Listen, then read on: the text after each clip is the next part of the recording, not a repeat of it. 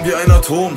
Was kannst du schon ändern von deiner Position? Denn alleine bist du bloß dieser eine von Millionen. Doch du kannst andere erreichen, mit dir reißen wie ein Sog. Gemeinsam sind wir groß. Freunde, willkommen zurück zu einer neuen Folge von Mario Kart Wii Custom Tracks. Wir haben zwei Remake-Strecken und zwei normale Strecken. Ähm, das heißt, wir haben jetzt am Anfang ein bisschen Laberzeit, wo wir uns noch gar nicht auf die Strecke konzentrieren müssen. Ähm, das hier ist das erste Video nach dem 24-Stunden-Spendenstream, dem wohl heftigsten Ereignis auf diesem Kanal und auch wirklich einem der heftigsten Ereignisse meines Lebens, weil das, was da wirklich so passiert ist, das ist, ging glaube ich allen, die dabei waren so, das war eine Atmosphäre in diesem Stream, die einfach nur unbeschreiblich ist.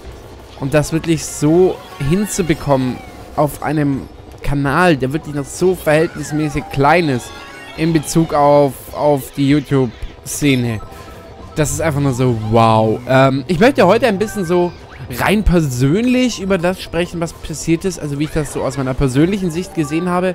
Es wird auch noch ein ausführlicheres Video kommen, äh, wie, äh, also wie viele Spenden zusammengekommen ist, wie sich der Betrag zusammensetzt und so weiter. Ähm, ich kann aber noch, noch, nicht ganz genau sagen, wann das ist. Ähm, einfach, das wird die Tage sein. Ähm, aber heute möchte ich einfach mal so ein bisschen so ganz persönlich drüber reden, was abgeht. Ich meine, ich denke, ich, jeder von euch hat es irgendwie mitbekommen, der sich dafür interessiert. Ich habe es auf allen sozialen Medien geteilt, die ich irgendwo besitze. Äh, also auf Instagram, auf Snapchat, auf Twitter. Ähm, es sind 940 Euro gespendet worden. Und ich kann auf jeden Fall schon mal sagen, unter diesen ganzen... Ich habe ja gesagt, es wird auch noch Abzüge geben. Äh, also das reine Geld, was wirklich von euch zusammengekommen ist, mit, mitsamt den Abzügen, sind, glaube ich, 800 lass mich nicht lügen, 870 Euro. Und ähm, dann kommen ja noch die Verkäufe aus dem Hübi-Shop hinzu. Ähm, also wir kommen allein durch die Community auf knapp 900 Euro. Und ähm, ich werde dann safe auch noch was draufpacken, das kann ich euch sagen. Und noch eine ganz, ganz große Sache, die, die kann ich jetzt hier schon mal ansprechen. Äh, oder nein, nein, die spreche ich nicht an. Die spreche ich nicht an. Das möchte ich mir noch für das, für das zweite Video aufheben, in dem ich nochmal detailliert über die Summe spreche. Aber es hat sich noch ein Spender gefunden. Es hat sich noch ein Spender gefunden, der nochmal einen größeren Betrag draufgepackt hat. Mehr möchte ich dazu noch gar nicht sagen. Vergesst das mal. Nehmt das mal als Vorfreude. Nehmt das mal als Vorfreude. Das brauche ich jetzt hier noch nicht verraten. Ähm, es hat, hat sich auf jeden Fall noch ein Spender gefunden. Und ähm, was jetzt letztendlich wirklich nach, äh, nach Indien geht, das wird dann in dem Video kommen. Da möchte ich jetzt noch gar nicht drüber reden. Lass mir jetzt noch mal ein bisschen so drüber reden, wie ich das persönlich alles wahrgenommen habe. So, so meine persönlichen Highlights, nenne ich es mal. Also, ähm, der Stream ging natürlich wie zu erwarten, ne? mit dem ein oder anderen technischen äh, Defekt los. Ich weiß gar nicht mehr, wa was das Problem war. Da bin ich mir gerade gar nicht mehr... Ich, ich bin mir gerade wirklich gar nicht so sicher. Irgend, irgend, irgendein, irgendeinen Fehler hatten wir. Ähm, oh. Ich glaube aber, den konnte ich relativ schnell beheben. Äh, auch wenn ich euch nicht mehr genau sage. Ah, das stimmt, das war das Problem, die, das Lautstärke-Problem. Der, der, die, der Spenden-Alert war viel zu leise. Ähm, aber das habe ich zum Glück relativ schnell gefixt bekommen, aber es ist klar, deswegen habe ich auch Diddy Kong Racing an den Anfang gepackt. Irgendein Singleplayer-Spiel, wo man gerne mal Pause machen kann. Das habe ich nämlich aus dem letzten 24-Stunden-Stream schon gelernt. Am Anfang hat man immer mit technischen Problemen zu kämpfen. Immer. Äh, und deshalb war es gut, dass ich dieses Problem in gewisser Weise vorhergesehen habe und deshalb erstmal genug Zeit hatte, um mich darum zu kümmern. Ähm, aber das war relativ schnell behoben. Ja, aber wie auch schon im 24-Stunden-Stream vom letzten Mal, ich glaube innerhalb der ersten halben Stunde hatten mich schon die 100 Euro voll. Verbessert mich, wenn ich, wenn ich, wenn ich falsch liege, aber ich glaube, es war so. Äh, und das ist halt einfach immer wieder verrückt, was, was da einfach schon innerhalb immer wieder so kurzer Zeit zusammenkommt. Und ich dachte eigentlich, ja, das ist dann eigentlich, ja, am Anfang pulvert halt jeder so, ich, das klingt jetzt so bescheid, gibt halt jeder das ab, was, was er halt sich vorgenommen hat zu spenden und dann manche geben vielleicht am Ende nochmal was. Aber was da über ein, also in was für einer Konstanz da immer wieder Spenden abgegeben wurden und wie oft ich jetzt schon in diese Löcher gefallen bin, das war, das hat mich einfach so vom Hocker gehauen. Ähm, und vor allem auch so,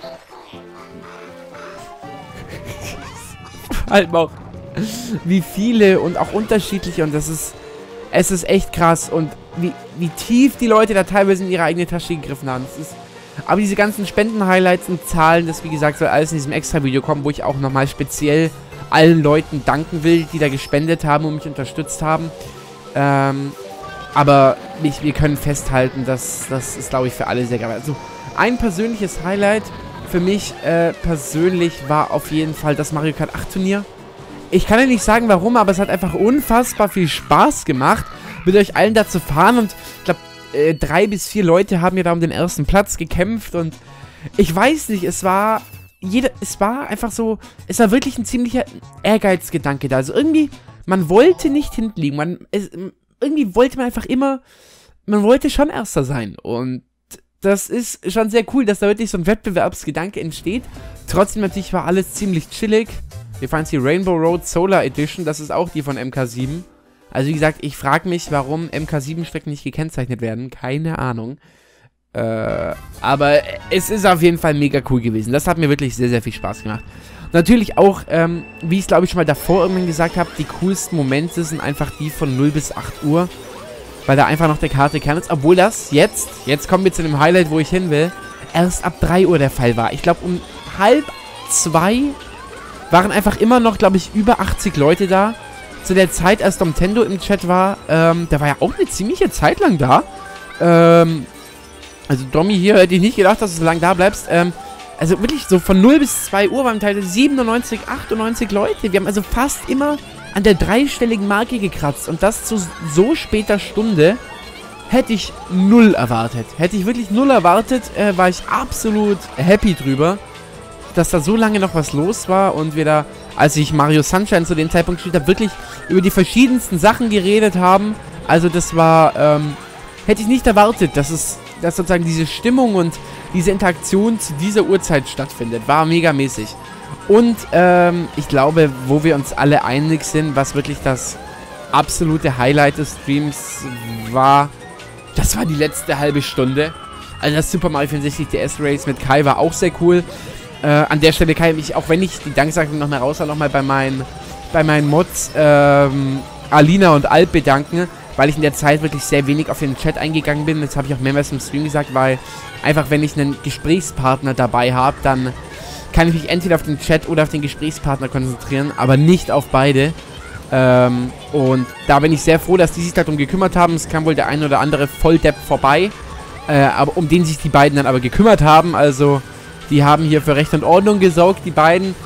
Ähm, ich weiß, ich wollte die Danksagung wann anders machen, aber das wollte ich jetzt an der Stelle einfach mal erwähnen, weil ich da auch einfach mega happy bin, wie das alles gelaufen ist. Und, ähm, ja, das Race hat mir persönlich auch mega Spaß gemacht. Ich glaube, es kamen wirklich höchst interessante Themen zustande, über die Kai und ich da geredet haben. Ähm, keine Sorge, die Videos äh, zum die, die ich glaube 18 Stunden insgesamt habe ich aufgenommen, die ich veröffentlichen kann, weil zu einer Zeit ich auch GEMA-rechtliche Mucke gespielt habe.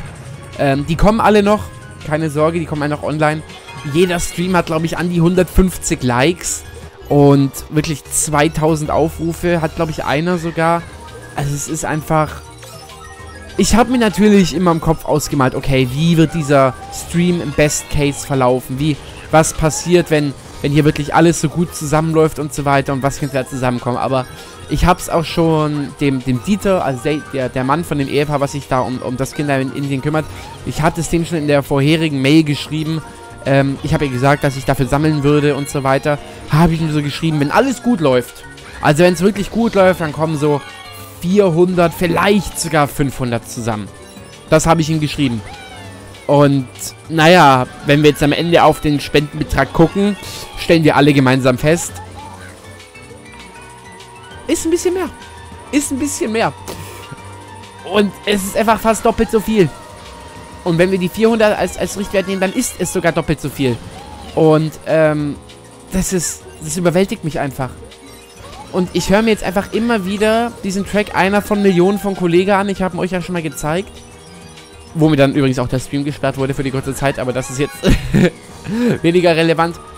Ich verbinde jetzt immer diesen Track mit dem Stream. Und immer jetzt, wenn ich diesen Track höre, kriege ich einfach nur, einfach nur Glücksgefühle. Weil ich auf diese Aktion zurückschaue.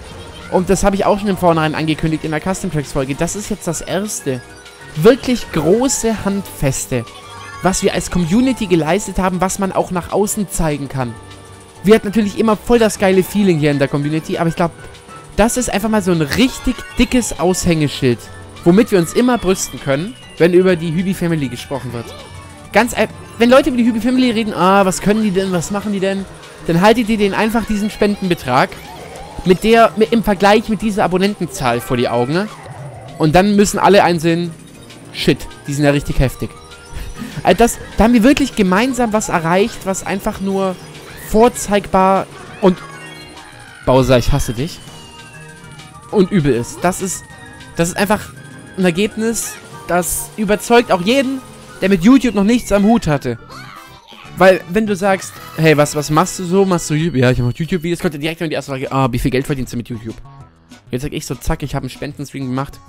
Oh, mit knapp, äh, lasst mich lügen, 2000, knappen 2000 Leuten, ne? Wir waren ja davor noch deutlich weniger, es kamen, glaube ich, 140 Leute dazu über den Stream. Haben wir einfach mal 940 Euro gesammelt. Und dann wird jeder sagen, oh ja, deine Community, die hat's ja drauf. Und deswegen bin ich auch einfach so unfassbar happy, weil, wie gesagt, das ist einfach sowas, das, das kann man einfach greifen. Das haben wir einfach als Community erreicht und das ist... Ich bin einfach nur stolz. Ich bin einfach nur verdammt stolz, wie das alles gelaufen ist. Und das hier heißt, glaube ich, Castle of Time, die Strecke. Also so habe ich den, den Stream so ein bisschen miterlebt. Also ich muss sagen, diese riesige Community-Interaktion, dann nachts um eins oder zwei, wo wir an die 100 Leute waren und Sunshine zusammengespielt haben. Die fand ich sehr geil. Das MK8-Turnier war wirklich megamäßig. Das Race gegen Kai hat richtig viel Spaß gemacht. Übrigens haben wir auf der Strecke äh, das Triforce in den Itemboxen, wollte ich ja nur mal erwähnen. Äh, und, na, die letzte halbe Stunde schlägt, glaube ich, alles. Äh, oh Gott, da geht's gar nicht runter. Äh, also sowas, sowas Episches habe ich, glaube ich, echt noch nie erlebt. Und ich weiß auch gar nicht, ob wann das wieder getoppt werden kann. Das wird erstmal ein Ereignis bleiben, an das sie, glaube ich, noch ganz, ganz, ganz, ganz lange zurückdenken können. Und immer wieder stolz drauf sein können. Immer, immer wieder. Immer wieder können wir da stolz drauf sein. Ähm es wird auf jeden Fall nicht der letzte Hübi Charity Stream gewesen. Hübi Charity Stream gewesen sein. Das verspreche ich euch. Ich glaube, mit diesem Stream haben wir den Namen Hübi Charity aber sowas von etabliert. Ähm, und das wird safe nicht der letzte gewesen sein, das verspreche ich euch. Ähm, mal sehen, wann das wieder sein wird. Natürlich nicht allzu schnell. Ich weiß nicht, ob ich das vielleicht jedes halbe Jahr mache oder jedes Jahr. Vielleicht ist es ja wieder um die Zeit, keine Ahnung, äh, wann sich da was ergibt. Aber ich denke, das wird nicht der letzte Wohltätigkeitsstream sein, den ich machen werde. Ähm, auch wenn die nächsten vielleicht nicht mehr so krass werden, weil das, was da passiert ist, ich... Ich weiß aktuell nicht, wie man das toppen kann. Ich weiß es nicht. Ich, ich, es ist... Ja, also das ist das Heftigste, was wir gemeinsam hier in ein, dreiviertel Jahren Kanalgeschichte geschafft haben. Und ich hätte nicht gedacht, dass es so übertrieben wird. Ich habe mich natürlich drauf gefreut. Ich habe auch vor dem Stream getwittert, hey Leute, oh, ich bin ja schon ein bisschen nervös, was den Stream angeht und so, weil ich einfach nicht ahnen konnte, was passiert. Aber das hat einfach mal alle Erwartungen gesprengt. Also, ähm... Ich werde demnächst nur noch mal jetzt abschließend hier zur Info auf jeden Fall ein Video machen, wo ich ganz detailliert äh, über die Zahlen sprechen werde, wie viel zusammengekommen ist und so weiter äh, wie viel letztendlich runter nach Tibet geht. Auch äh, werden wir erfahren, was mit dem Geld gemacht wird. Äh, wir werden auch ganz detailliert erfahren, was mit dem Geld gemacht wird. Äh, mehr dazu auch noch in diesem speziellen Video. Äh, da kriegen wir auch noch ganz genaue Infos drüber. Und natürlich möchte ich mich dann auch nochmal bei allen bedanken. Das werde ich auch noch in diesem Video dann sehr explizit machen. Ähm, aber in diesem Video hatten wir wirklich sehr, sehr viele tolle Leute, die mich, die entweder durch Spenden unterstützt haben oder durch anderweitiges. Ähm, und ja, da wird auf jeden Fall noch was kommen. Ich wollte zu, nur hier einfach so ein bisschen kurz drüber reden. Einfach so ein bisschen frei Schnauze drauf los. Nicht groß durchstrukturiert oder so. Und äh, ja. Bin jetzt wieder wach. Ein kurzer Side-Fact noch. Ich glaube, ich weiß gar nicht, ob ich das schon gesagt habe am Anfang vom Video. Da bin ich jetzt nicht sicher, aber ich habe es auf Twitter gepostet. Ich bin nach dem Stream am Mittwoch, bin ich glaube ich so um drei ins Bett gegangen. Und hab gepennt. Bin kein einziges Mal aufgewacht. Also ich habe wie ein Stein durchgepennt. Bin einfach mal Donnerstag um 8 Uhr in der Früh aufgewacht. Ich habe einfach mal 18 Stunden danach durchgepennt. Ohne ein einziges Mal aufzuwachen. Ich bin erst mal aufgewacht. Ich, ich habe eigentlich so damit gerechnet, ja, ich wache dann halt irgendwann am Mittwoch wieder um 8 Uhr, 9 Uhr oder so abends auf. Aber nix da. Durchgepennt bis 8 Uhr in der Früh. Und ja, jetzt nehme ich jetzt hier Donnerstagmittag auf. Ich werde es auch noch Donnerstag hochladen. Äh, das ist schon ein schönes Gefühl, aber ich habe noch nie in meinem Leben 18 Stunden am Stück, am Stück geschlafen, ohne einmal aufzuwachen. Ich bin erstmal aufgewacht, habe erstmal meine Klamotten angeschaut, so, hä? Ja, doch, mit den Klamotten habe ich mich hingelegt und habe erstmal gedacht, geht mein Wecker falsch, war mir irgendwie Stromausfall und der hat sich irgendwie, die Zeit hat sich zurückgesetzt und Nee, aber es war Donnerstag 8 Uhr in der Früh. Ich habe so lange gepennt und mein Körper hat das auch gebraucht, aber ich würde das jederzeit wieder tun. Es war mir eine Ehre, so lange wach, wach, wach bleiben zu dürfen für euch alle. Ja, Freunde, das soll es gewesen sein ähm, für diese kleine Custom Tracks Folge. Verrückt nach so einem epischen Stream wieder mit ganz normalen Videos weiterzumachen. Es wird jetzt auch wieder regelmäßiger werden. Ihr habt gemerkt, vor dem Stream, die Woche war echt wenig los. Habe ich aber auch ein bisschen drüber gequatscht. Jetzt wird hoffentlich wieder Regelmäßigkeit, Regelmäßigkeit reinkommen. Vielen Dank fürs Einschalten und vielen Dank für alles, was passiert ist. Äh, wir müssen jetzt mal wieder in den normalen YouTube-Alltag zurückkommen. Zumindest ich. Haut rein, Freunde. Vielen Dank, dass ihr dabei wart. Euer Hübi.